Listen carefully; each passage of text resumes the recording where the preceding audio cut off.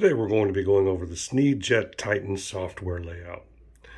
This is the main screen. You notice you've got a print preview right here, nice and large, with a ruler all around the sides to let you know how large everything is.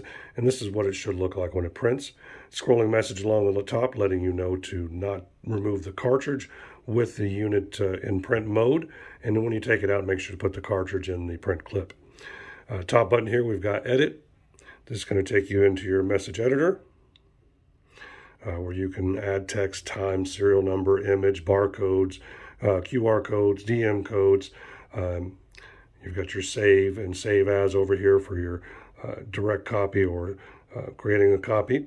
Uh, your position on the uh, text over here, you've got your other accessible features such as your file manager.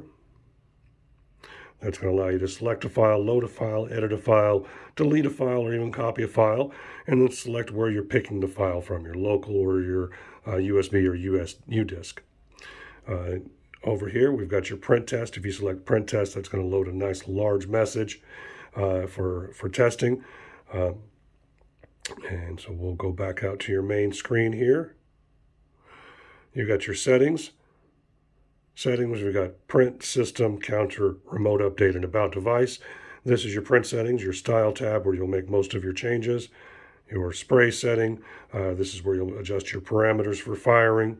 Uh, also your advanced setting, if you're using one of the larger Titan series, uh, you'll have those uh, offsets. This is where you'll set up your repeat count and your uh, repeat spacing, your interval. And if you have a UV lamp, this is where that'll come in.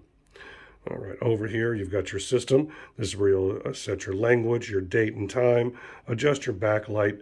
Uh, if you uh, need to adjust the screen, you can calibrate that, import a font, or reset the whole system.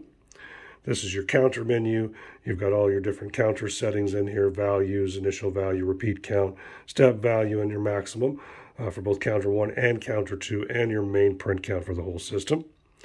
Here you've got your remote update. Only if you needed to update the system would you use that. And then we've got your About Device screen. This is going to deliver your OEM ID uh, and your Ink ID as well as your system version, which you'll also find on the main screen, software version for what's running it, and your hardware. This is your serial number. If you have a cartridge inserted, that information will be reflected there. If you have any other questions, feel free to check out some of the other videos on the Sneedjet Titan or give us a call at 833 926 3464. Thanks and have a great day.